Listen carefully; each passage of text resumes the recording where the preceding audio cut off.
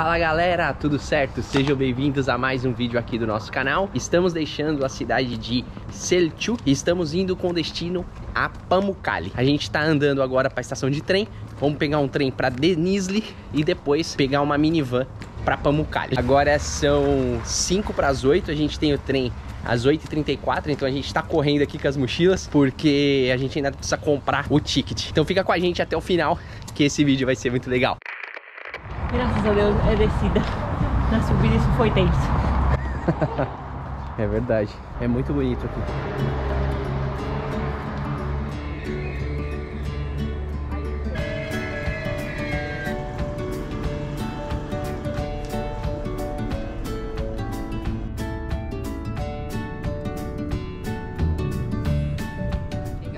já vai dormir. Você já tá vendo que ele tá se arrumando ali na posição de dormir. Mas a real é que a gente estava acostumado a viajar um pouco mais devagar, né? Assim, de carro você consegue ter seu tempo e tal. Só que como a gente só tinha 20 dias aqui na Turquia, a gente tá correndo bastante. Então a gente já tá sentindo os efeitos. É, pra tentar conhecer o maior número de lugares, né, em pouco tempo. E aí o ritmo acaba sendo um pouco mais acelerado, acordando muito cedo, acaba Todo dormindo dia. mais tarde, porque o dia fica muito corrido, né? Mas é isso aí. Olha que legal esses branquinhos, ó. É tudo plantação de algodão, ó.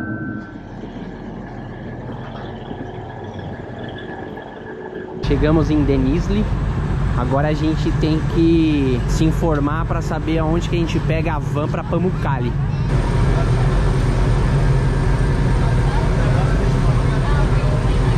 Acho que a gente achou, é do outro lado da rua. Tá escrito lá, ó. É Denizli Autobus Terminal tem o minibus. A gente chegou à conclusão por causa dessa placa aqui, ó. Autobus Terminale. ó, então a gente entrou aqui no terminal, é uma rodoviária, ó. Conseguimos entender aqui como é que funciona. É, tem a minivan aqui mesmo, ó. E paga com cash. Vamos lá, tá saindo. Bora!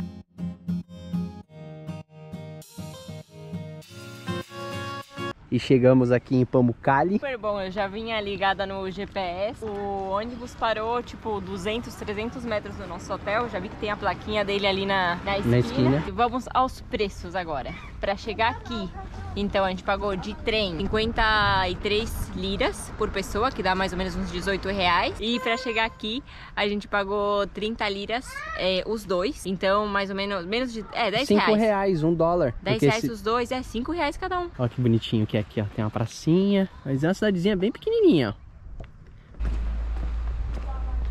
Ó, a ruinha do nosso hotel. Mais um gatinho ali. Map 5. Ó, é um camping também. Chegamos aqui. Esse é o nosso quarto. Ah, não, tem coberta ali. Tem uma cama de casal aqui, uma cama de solteiro também. Como é que toma banho aqui? É Não aqui sei, deixa eu ver. Eu não, não olhei. Ih! ah, não. Põe aqui, ó. Aqui, ó. Assim. Ah, coloca ali, ó. Molha, molha tudo, mas tá tudo certo.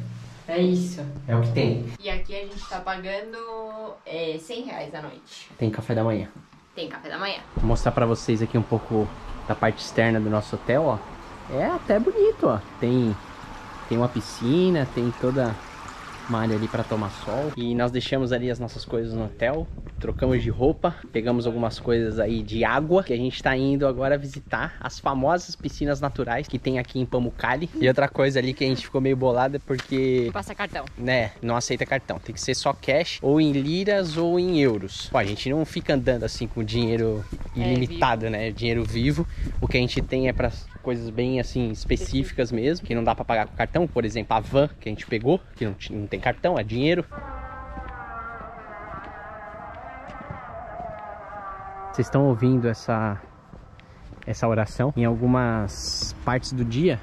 A gente escuta essas, essa oração. Logo Ó, cedo, tipo, umas 5 e meia, a gente da acu- manhã, é, ó, começa.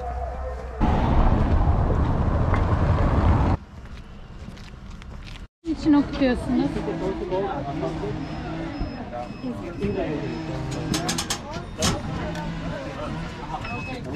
Thank you. No?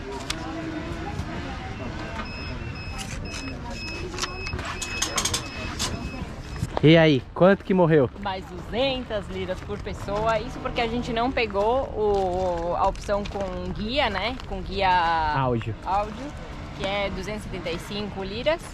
É, e tem mais um ingresso que dá acesso Lao, Laodica Archaeological Site, mas eu não sei o que é e não é aqui. Então a gente não vai pegar outra coisa para ir até lá. A gente só comprou daqui mesmo, que aí dá acesso a Pamukkale e à cidade de Gerápolis. E aqui já chegou a hora que precisa tirar o calçado, ó. Muita gente já vai descalço. Só que a gente tá equipado, né? A gente comprou nossa sapatilha. Compramos nossa sapatilha Olha de. que bonito isso, gordo. É, ó. Olha que top. E ó. Já estamos aqui. Renata tá insistindo que não pode colocar a sapatilha. Porque ninguém tá de sapatilha. Mano, as Ninguém pessoas. tem sapatilha. As pessoas estão vindo de. Olha lá, tem uma pessoa de chinelo ali. As pessoas estão vindo de salto alto aqui. Pra você ter uma ideia por que que elas estão tirando o, o- o Mas tá calçado. gelada essa água, hein? Só tenho isso pra falar. Então, é o que o pessoal fala. Pra pisar aqui é, é até que gostoso, né? Não é escorregadio. Aham. Você consegue ir tranquilo, mas a água que passa aqui é bem gelada. Olha que legal isso daqui. Tem várias partes dessa esse parque aquático lá do outro lado dá pra ver as piscinas maiores, né, onde dá pra entrar e etc. E como vocês podem ver, ó, toda essa formação parece algodão. E é isso que significa Pamukkale. Então, Pamuk é algodão, Kali, castelo. E tudo isso que a gente vai ver hoje são piscinas naturais de águas termais. E essas formações, elas são oriundos de resíduos de calcário. Conforme o, o tempo foi passando e essas águas foi passando, foi acumulando, né, esses calcários e formando essas piscinas naturais. Outra coisa interessante, essas piscinas têm um aspecto medicinal, né? Então, a água que tem aí nessas piscinas, as pessoas se banham, tem um aspecto de rejuvenescimento e também medicinal. Aqui no complexo tem a cidade de Herápolis, que é cidade sagrada que foi construída durante o Império Romano aqui na Turquia. Ai, chegamos na piscinona, que Olha. legal! Nossa, que legal! Olha a cor! Eu achei que a gente não ia pegar. E aqui, ó, ali em cima tem um monte, ó. Eu acho que ali em cima é todas as piscinas. Né? Gözlük var canım cebimde. Gözlüğü Bom, pelo menos essa daqui não é nada de água termal, tá bem gelada. Ó, e aqui de cima dá pra ter uma ideia exata ali das piscinas formadas, ó. Tá meio seco, né? Eu acho que tá bom. Porque Sério? eu já vi gente falando que não viu nada. Não viu nada, né? Tudo seco. E olha que legal a cor dessa água. Só que tá gelada, hein? Bem, bem gelada. E daqui de cima dá pra gente ver as outras piscinas. Mostrar. E tem bastante gente, mas não está extremamente lotado. Então até que dá pra parar e tirar umas fotos. Ela cedeu à tentação, ó. Colocou a. Dói o pé, né? Depois de um tempo. E a água tá tão gelada que parece que dói mais. É, ficar pisando na pedra aqui, andando na pedra por muito tempo, dói o pé, né? Ó, e aqui é aquele lugar famoso que a gente vê em fotos na internet. Só que por conta da época, ó, tá bem vazio, ó. Tá vendo? Algumas piscinas nem estão cheias. Só tem duas ali com água, ó. Vocês conseguem ver bem azulzinho, ó. Isso deve ser muito incrível quando tá tudo cheinho de água aqui. Eu acho que as pessoas podem entrar ali, né? Ali, sim, pode. ali pode entrar quando tem Pode água. entrar.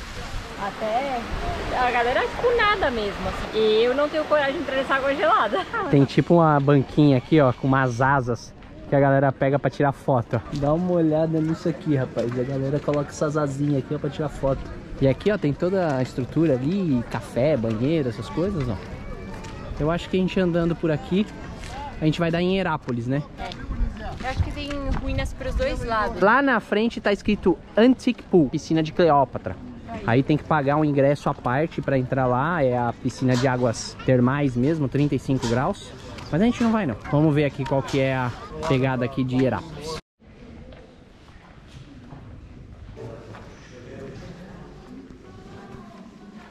Esse mini museu de coisas que acharam aqui, né, na cidade.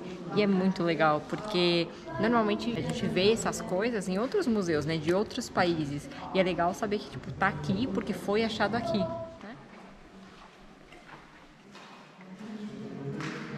E olha como que é bonito aqui essa parte de Herápolis. Essa parte aqui ainda pertence ao museu, que a Renata falou. Mas tá muito bem armado. Super arrumado, super limpo, estruturado. É muito incrível, né? Essas ruínas, assim. E tudo isso que eles encontraram, né? E eu fico bem impressionada. É.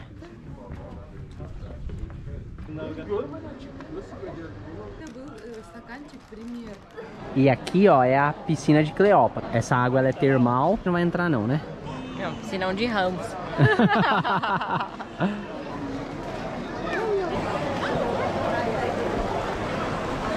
E olha como esse sítio arqueológico é gigante. Tudo isso daqui é a cidade de Herápolis. Para andar por aqui e vendo todas as ruínas que tem aqui atrás.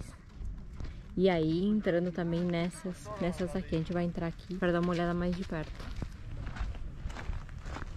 E olha que interessante o que restou aqui das construções. Muito louco, né? Olha o tamanho dessas pedras. Se vai dar pra ver. Nossa, minha mão. Ó, lá em cima tá o teatro, ó. Ah, olha que legal. O pessoal vai até lá em cima. Nossa, mas deve ser uma caminhada. Tá morrendo já, gordo? Ah, eu tô cansado já. a gente aquela subidinha lá foi tensa. A gente vai ficar aqui embaixo mesmo, não vamos subir lá no topo para ver o teatro lá de cima, mas é muito legal como tá conservado aqui, ó, toda essa estrutura circular.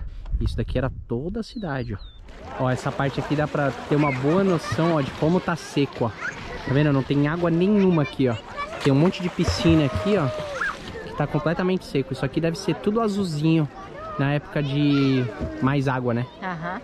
Mas é bem bonita a vista daqui, né? É. Aqui de cima. É bem bonito, ó. E no final a Renata tava certa. A guarda fez a gente tirar a sapatilha na volta, que é pior, né? Porque agora que o pé tá sentindo a pressão do passeio. Pior que eu tava descendo ali, ela veio correndo, me deu um maior grito, velho. Take off your shoes. Ah, eu não ouvi nada. Tava já tranquila lá andando. It's forbidden.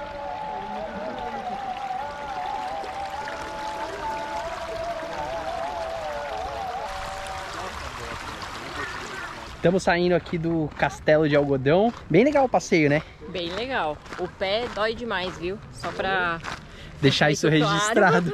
Assim, seria muito mais legal se tivesse mais água, né? Se as piscinas estivessem mais cheias. Mas a gente já imaginava que essa época do ano não ia estar tão cheio assim. Mas vale a pena a visita. É, tem que se deslocar, vir até aqui. Não é um- uma rota assim.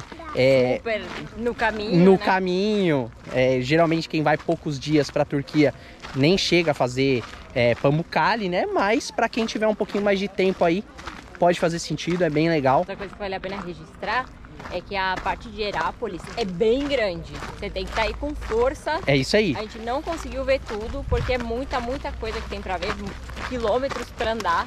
E a gente tava já bem cansado e não conseguiu fazer tudo. Vamos arrumar um lugar para comer aí e descansar, que o dia de hoje foi bem puxado.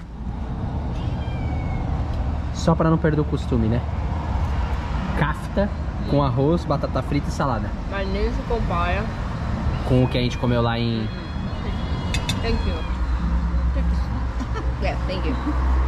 E acordamos aqui em Pamukkale, mas hoje já é dia de partir. Estamos indo pra costa, pra cidade de Fethiye, que parece que lá tem algumas praias bonitas. Estamos indo pra lá hoje, daqui a pouco sai o nosso minibus para a cidade de Denizli de volta e de lá vamos pegar mais um ônibus. É isso aí. Então, espero muito que vocês tenham gostado. A gente vai ficando por aqui. Então é isso, tamo junto e Lotó. valeu!